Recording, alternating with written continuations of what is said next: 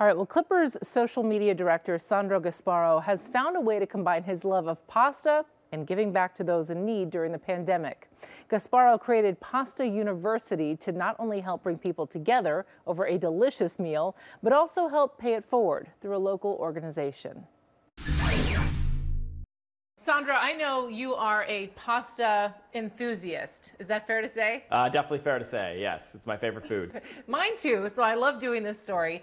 But let's talk about the creation of Pasta University and how that came to be. Right when um, the pandemic hit and we were all kind of forced inside and forced to stay away from our friends, a good friend of mine, Kat, texted me probably like, like, about a week into it and was like, you should, we should do like a, a, Zoom call where we just like learn how to, you teach us a pasta, we'll make some food, we'll talk, it'll be, it'll be fun. That started with Kat, our friend Paula, probably like late March. And it's just something that we just kept doing every week. As this just kept going on and kind of indefinitely now, you know, we're not like almost eight months in. Probably made about a dozen different pastas and different things, just teaching like really basic stuff they were the ones who actually kind of came up with the name Pasta University. And like anytime they would post it on their Instagram stories or something like that, people started asking about it and being like, oh, when can I apply? How do I get in? And so towards the end of September, I asked if I put out like a link for people to sign up, do we think anybody would join? And we basically had like, you know, between like five and 10 people each of the last like four weeks just come on and,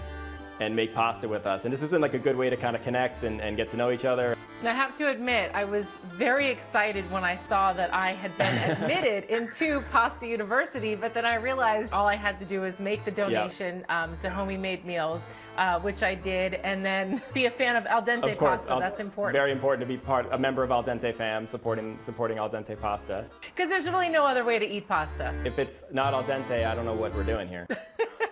One thing I wanted to do was ask people to make like a small charitable donation. There's an organization here in Los Angeles that uh, provides meals to those in need. I just figured that was kind of a natural tie-in. Homie Made Meals is directly working in the Los Angeles community. Correct. This is a, just a nice way to kind of get people together, and then of course you've got them making donations for a good cause, which everyone feels good about too. It's a little bit of money, but it's it's something to help, right? Like knowing that a lot of people are going through it right now. But what are we having tonight? Uh, spaghetti limone, which is just a simple lemon butter and Parmesan cheese sauce, really rich and delicious. The only ingredients in this are pasta water, lemon, butter, and Parmesan at the very end, which we're gonna grate a bunch of really quick. I'm a shameful Italian because I've never grated my own cheese before, so thank you for that. Is this an acceptable amount of cheese?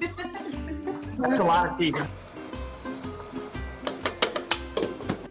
We're not ones to shy away. That's about what I'm mixing too.